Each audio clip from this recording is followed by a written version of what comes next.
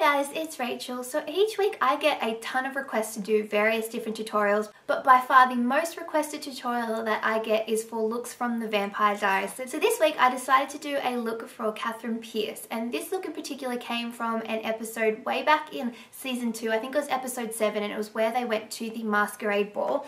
And I have a picture here. I will put links in the bottom bar below um, to a picture so you guys can check out what I'm trying to recreate, but it looks kind of like this. Sorry, you're not going to be able to see that very well in the reflection. But basically it is just a very quite simple eye. It uses a really light colour on the lid and then a very dark matte brown colour in the crease and then some really bright red lips and then we have sort of a very kind of almost 60s style beehive look hair style which I think is really really cute and I think this look would be perfect for um, a school dance or even a prom if your prom is more um, is not overly dressy, if it's a little bit more, I guess, cocktail themed, then I think this look would be perfect for that kind of style. And it is quite simple to recreate. It doesn't require a lot of different products. And a lot of the items I use, you could definitely find dupes in your own makeup collection. I will have a list of the exact products that I use in the bottom bar below and I may show them on screen as well. But I do think this is one of those kind of looks where you can use what you have and make it look very, very similar. So that is it from me. Let me know in the comments below what you think of this tutorial and if you have any requests for any other makeup tutorials from the Vampire Diaries or for any other TV show that you've been loving at the moment. But other than that, let's jump into the tutorial. Okay, so we're going to start by applying a foundation to our face. I'm actually going to be using a BB cream since that's kind of what I'm testing at the moment. And Katherine has very flawless, very natural skin. It's not too matte, it's not too dewy, but at the same time it just looks like it's perfect and natural and unfortunately I don't have that kind of skin naturally so I'm going to use a BB cream because it gives a sort of natural finish and then I will use a concealer just to conceal any extra blemishes that I have but you guys can use whatever is your current favourite foundation that will work perfectly. Next I'm going to apply a little bit of concealer underneath my eyes and on any blemishes that I have.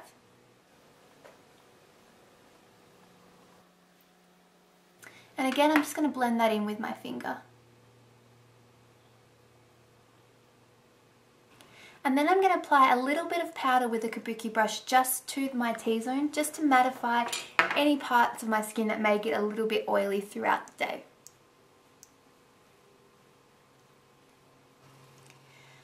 Okay, so we're going to move on to the eyes and we're going to particularly start with eyebrows because Katherine or Nina Dobrev has quite dark, quite defined eyebrows. I'm actually quite envious of her eyebrows. They're really, really good. They're just a nice thickness. They just sort of start off thick and then go out to a thin point that comes down a little bit. So that's what I'm going to do and I'm just going to take an angle brush and a brown eyeshadow or eyebrow powder and just start filling in my eyebrows slightly just using very light, very natural strokes. I'm actually going to start here, just create a more of a square end and then slowly bring it back. So for eyes, Katherine has quite a light shade on the lid and then quite a dark, quite defined crease. So I'm going to start off by applying an antique gold coloured eyeshadow base. I'm just going to apply this all over the lid with my finger.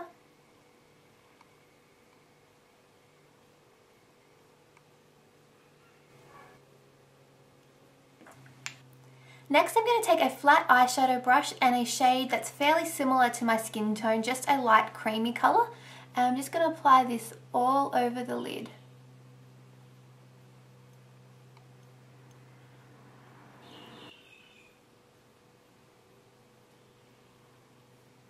Next I'm going to take a dark chocolate brown colour on a small, quite dense crease brush because we don't want our crease colour to be too spread out. We want it quite cut. So I'm going to take a little bit of that on the tip of my brush and I'm just going to start by applying it just into the crease, kind of just where we'd want the point of our eyeshadow to be.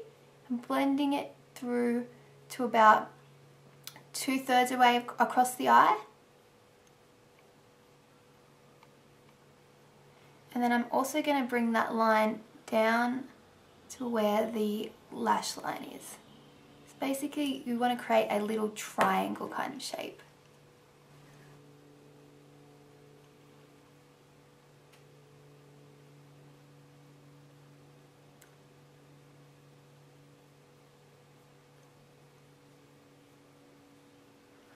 Right now you want to blend that colour sort of inwards, not so much outwards. We want to try and keep the colour quite concentrated, but blend it in with that lighter shade on our eyelid.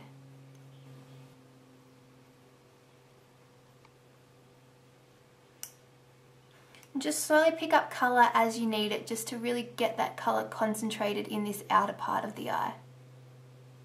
Once you have that colour placed generally where you would like it to be, we're going to blend it out. Take a slightly fluffier crease brush and a light brown colour, just a few shades darker than your skin tone. Take a little bit of that on the tip of the brush and just use that to blend out the line between where the highlight colour would be and where the dark shadow has been placed.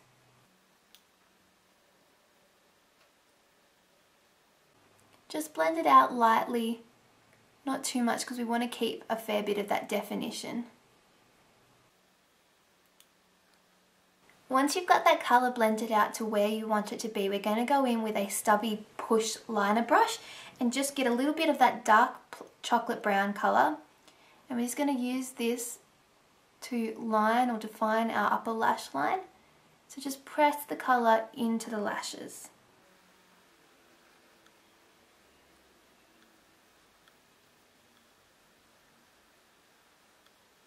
We're also going to use this brush to bring a little bit of the colour underneath the lower lash line. Then to further define our eyes, I'm going to use a black pencil liner to line my upper waterline and then I'm going to use a skin coloured pencil just to line the lower waterline just to open up our eyes a little bit more.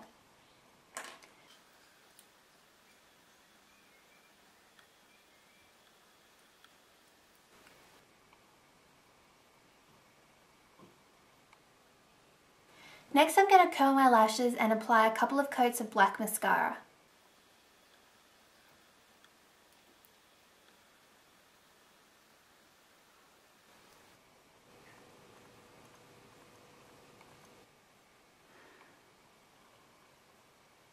To finish off this look I'm going to apply some Ardell false eyelashes.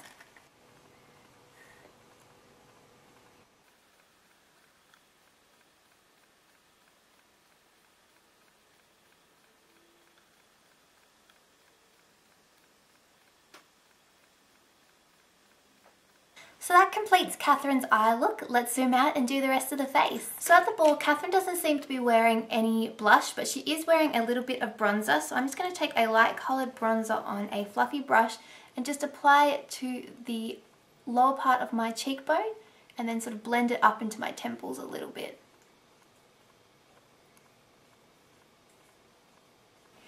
And then for lips, Katherine is wearing some quite bold red lips. It's kind of hard to tell what colour red it is. In certain scenes when it's lighter, it seems like quite a bright red, but then there's a lot of dark lighting in the show, and there are times where it seems like a really deep, almost burgundy red. So I'm just going to use a red. Just use whatever red is flattering to you, but I am going to use a couple of different products just to create a long lasting red lip. So my first tip for a long lasting red lip is to start with a lip stain. So I'm going to use a Revlon red lip stain.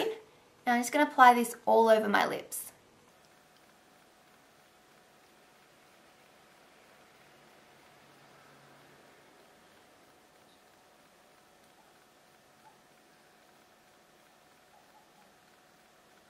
Now the good thing about a lip stain is that you can bring it right in to the inner lip without having to worry about it getting on your teeth. And this is good because you avoid that funny sort of look that you can get when you wear red lipstick where you have bright red and then all of a sudden you have like your light pink lip color. So you can bring the stain in quite far.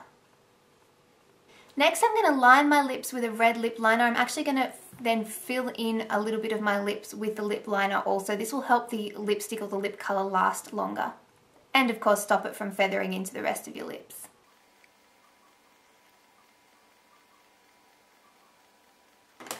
And then last but not least, I'm going to finish off with a slightly cool toned but true red lipstick.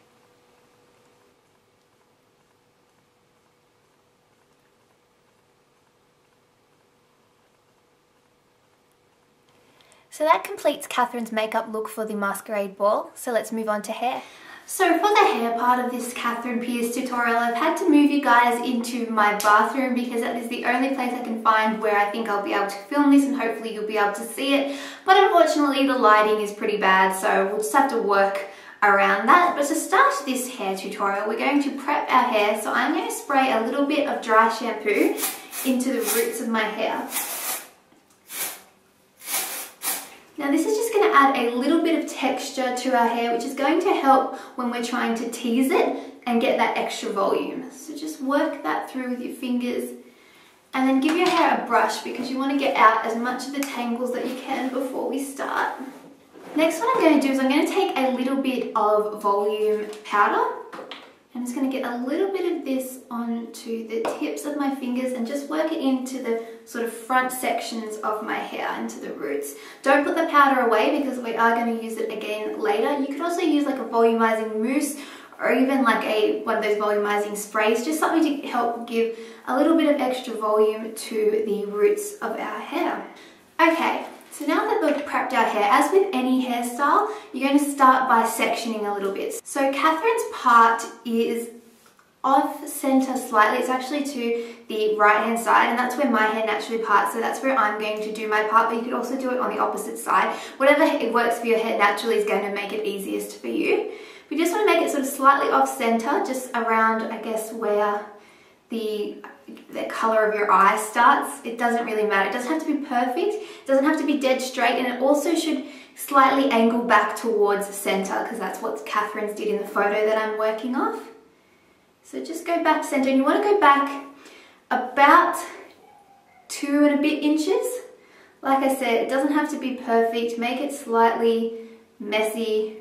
You don't even really have to use a comb if you don't want to. You can just use your finger but just sort of make a part about this far back I would say. So once you have your part, what you want to do is you want to take the hair from about just above your temple up to where the part ends, so about, like I said, two and a half inches back.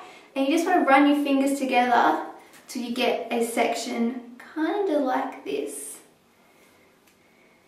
So you just want that bit of hair. And the way that you can tell if you've got sort of the right of section is just hold it back a little bit and this bit will be what frames our sort of beehive or our so you just want it like here sort of like that. So once you have that section out you just want to tie it off with a small hair tie or clip and then repeat the same process on the other side. Once you have those two pieces sectioned out then you then want to take again your fingers from the just above the temple of your head and drag them all the way back around into the center of your hair and then just pull up all that section. This is the section that we're going to work with first. So just twist it on the top of your head and clip it out of the way for now. Just like so. We're going to look a little bit funny, but that's okay. We'll work around it. And then what you want to do is take all the hair that's left. This is the bit that's going to be left out and we'll straighten it later. And you just want to pull it back into a neat little ponytail out of the way.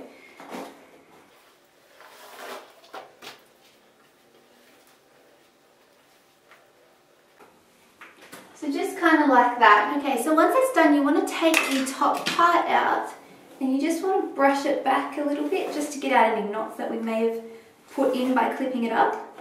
And then I'm going to actually explain what I'm going to do first because I'm going to tip my head forward. I'm going to brush my head forward and put a little bit of that volumizing powder just into the roots of my hair, just at the back here, because this is the bit that we're going to actually tease to make our little beehive, which hopefully will look a little bit like that when we're done. And what we're going to do is slowly take each section of hair up and then tease it. And I'm going to use like a little boar bristle brush like this because I find that this gives like the most volume because it really messes up the hair. So we'll spray a little bit of hairspray into each section, tease it and then flip it forward. So I'm going to start with that now.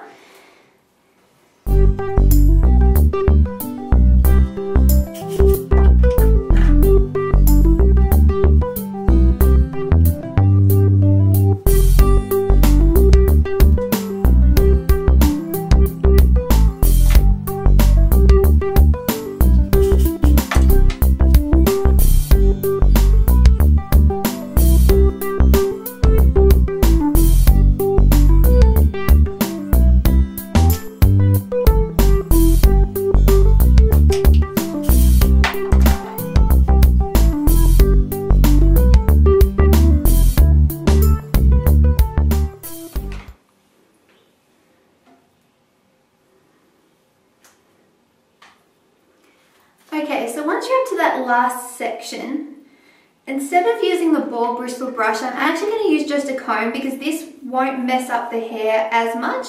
Once you have your general beehive going on, just use a comb and just brush the top layer back slightly.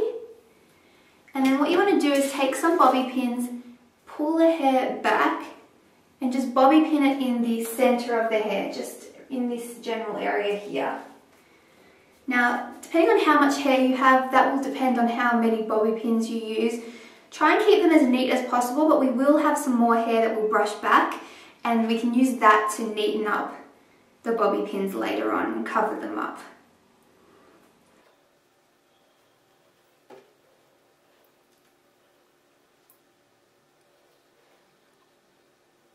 Now once you have your little beehive going on, you can brush it back a little bit. You can also use the comb to give it a little bit of extra lift, bringing it forward. Okay, so next we're going to move on to the side pieces.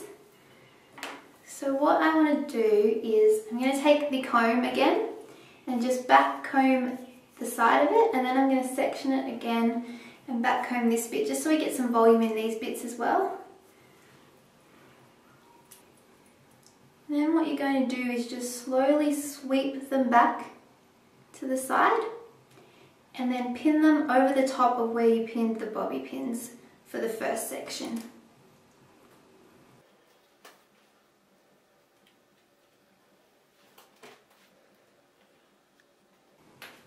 And repeat the same on the other side.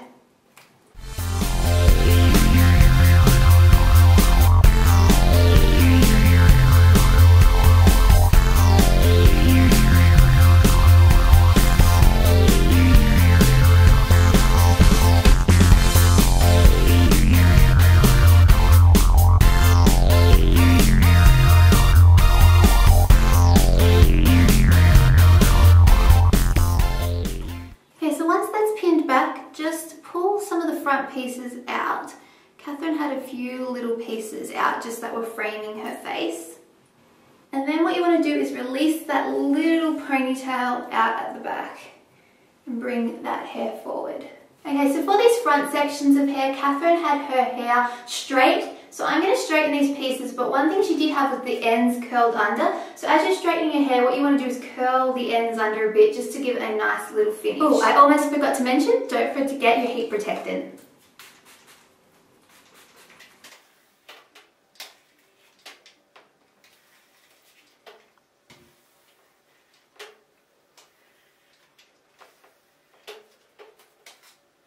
Okay, so once straightened, just as a final finishing touch, I'm going to add a little bit of hair oil, just a tiny little bit, onto my fingers. And then rub it together and then just smooth it over the ends of my hair, just to give my hair a little bit of that extra shine that Nina Dobrev or Katherine's has. And then that is pretty much it. Like I said, it is this hairstyle, while it does take a little bit of time just for the teasing and stuff, is quite simple. So this is the finished look. I'll step back so you guys can see it. You can make the bun or the poof or the beehive, whatever you like to call it, as high as you want. And then this is just what the back looks like.